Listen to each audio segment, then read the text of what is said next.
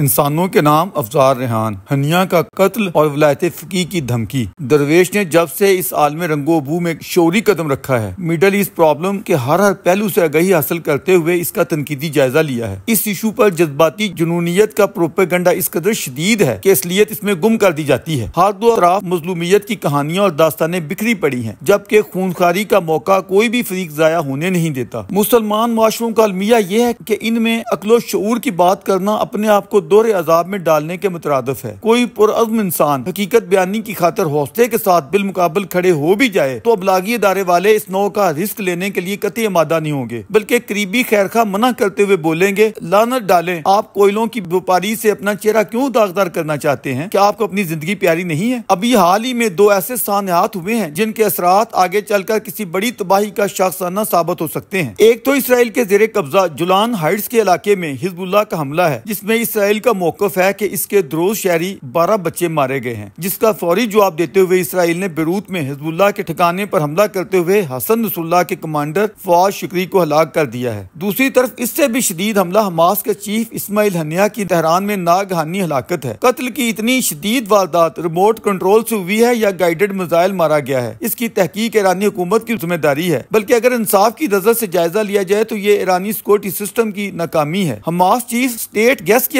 से ईरानी सदर की तकरीब हल बर्दारी में मदऊ थे और उन्हें सरबराह हुकूमत जैसा प्रोटोकॉल दिया गया था। इनकी ज़िंदगी का तहफ़ पास दौरान इनकलाब की ज़िम्मेदारी थी। अमरीकी अखबार न्यू यॉर्क टाइम्स की रिपोर्ट के मुताबिक इसमाइल हनिया जिस गेस्ट हाउस में ठहरे हुए थे, यहाँ वो इससे पहले भी क्याम करते रहे हैं और पास दौरान इनकलाब की जेर निगरानी ये गेस्ट हाउस एक वसी कम्पाउंड में वाक़ है। धमाका इतना शदीद था की पूरी इमारत हिलकर रह गई, खिड़कियाँ टूट गई और बैरूनी दीवार भी जुजवी तौर पर गिर गई। ये ईरानी इंटेलिजेंस और सिक्योरिटी की बहुत बड़ी नाकामी और पासदारान इनकलाब के लिए बायस शर्मिंदगी है। अगर यहाँ दो माह कबल कोई रिमोट कंट्रोल बम नस्ब किया गया था तो उसे कैसे छुपाया गया? और फिर इतनी सिक्योरिटी में इसका एहतमाम कैसे हुआ? इस अमर में कोई इश्तबा नहीं की ये सब इसराइल ने ही किया है। अगरचे इसराइल ने अवामी या सरकारी सतह पर अब तक इस वाक्य की ज़िम्मेदारी कबूल नहीं की और अमेरिका ने भी ये ज़ाहिर किया कि उन्हें इस हवाले से इल्म नहीं। दूसरी तरफ़ इस नौ के दावे भी किए गए हैं कि इसराइल ने कार्रवाई से कबल अपने मगरबी इतिहादियों को आगाह किया था और ये भी कहा जा रहा है कि इसराइल ने अपनी सरजमीन से या ईरानी सरजमीन से गाइडेड मिसाइल के ज़रिए इसमाइल हनिया को निशाना बनाया है। असलियत हनूज वाजिया नहीं। ये भी कहा जा रहा है की Spike N L O S जदीद तरीन इसराइली गाइडेड मिसाइल था जो दागा गया। मीडिया रिपोर्ट जो भी दावे करती रहे, ये अमर वाजिया है की हमास चीफ की हलाकत ईरानी दाल हुकूमत तहरान में होना ईरानी हुकूमत के लिए शर्मिंदगी, खजालत, जिल्लत और जग हंसाई का बायस है। इसके सिक्योरिटी सिस्टम की अंदरूनी खामियाँ सब पर वाजिया हो गई हैं। इस पस मंजर में ईरान के ताकतवर तरीन रहनमा वलायत फकी के मनसब पर बराजमा आयतुल्ला सैद अली खामदाई ने न सिर्फ़ ये ऐलान किया है कि वह हमास चीफ की हलाकत का बदला लेते हुए इसराइल पर शदीद हमला करेंगे, बल्कि उन्होंने अपनी मुसल्ह फौज को यह हदायत भी जारी की है की रद्द अमल में इसराइली और अमरीकी जवाब का सामना किस तरह करना है, इसकी तैयारी भी कर ली जाए। दूसरी जानब, अमेरिका ने न सिर्फ़ ये ऐलान किया कि वो हर सूरत इसराइल का दफ़ा करेगा, बल्कि अमरीकियों ने अपने जंगी जहाजों और मिजाइलों से लेस बहरी बेड़ा खलीज फास की जानब रवाना कर दिया है। ईरानी प्रोक्सियों हिजबुल्ला हमास और यमनी होशियों ने भी अपने इस अज़म का अदा किया है कि हम इस्माइल हनिया का बदला लेते हुए इसराइल को सबक सिखा देंगे। इन दामों और इकदाम से अंदाज़ा लगाया जा सकता है कि मिडल ईस्ट में इस वक्त जंग के बादल किस तरह मंडला रहे हैं। ईरान को इस सिलसिले में शाम और टर्की के अलावा चाइना से भी तामन की उम्मीद है, जो शायद उम्मीद ही रहेगी। दूसरी तरफ़ इसराइल के हमसाया ममालक में स्वाय शाम के कोई भी अरब मुल्क ऐसी तबाहकुन जंग का हिस्सा बनने के लिए तैयार नहीं है। बशमूल सऊदी अरब इजिप्ट और मुतहदा अरब अमारात, किसी भी अरब मुल्क ने इसमाइल हनिया के कत्ल पर रस्मी मजमती बयान तक जारी नहीं किया। जॉर्डन ने भी अगर इसराइल का नाम लिए बगैर रस्मी सा बयान दिया सब पर इसका रोल वाज है, जिसे शाह अब्दुल्ला दोम के अमेरिका और इसराइल से करीबी तल्लुक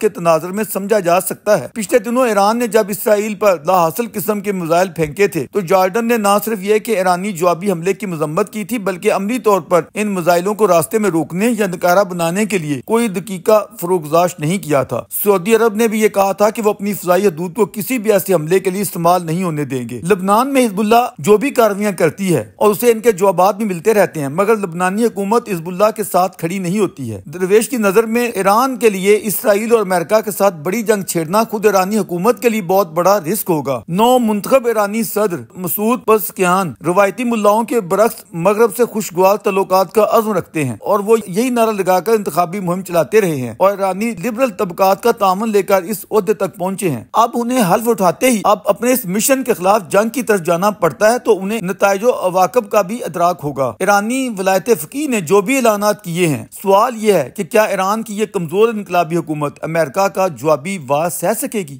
कब दरवेश ने तहरीर किया था कि चार नवंबर को अमेरिका में जो सदारती इंतखाब होने जा रहा है, इसके बायस जो बाइडन के लिए मुमकिन नहीं होगा की वो इन दिनों अमेरिका को किसी बड़ी जंग में उलझाएँ। अब जबकि मौजूदा अमरीकी सदर पर यह वाजह हो चुका है और वो ये ऐलान कर चुके हैं की वो सदारती उम्मीदवार अपनी नायब कमला देवी को बना चुके हैं। तो इनके लिए कुछ मुश्किल नहीं रहा कि किसी भी ईरानी हमले की सूरत में एक सख्त अमरीकी जवाब दें। ईरानी अवाम तो पहले ही अपने इनकलाबी मुलाओं के इस्तबदाद और मुआशी बदहाली के सताए हुए हैं। ऐसे में बड़ी जंग इस्लामी इनकलाबियों और बिलखसूस आयतुल्ला खामनाई को न सिर्फ़ ये कि इकतदार से महरूम कर सकती है, बल्कि एन मुमकिन है कि ये इनकलाबी क्यादत सदाम हुसैन जैसे अंजाम से दुचार हो जाए।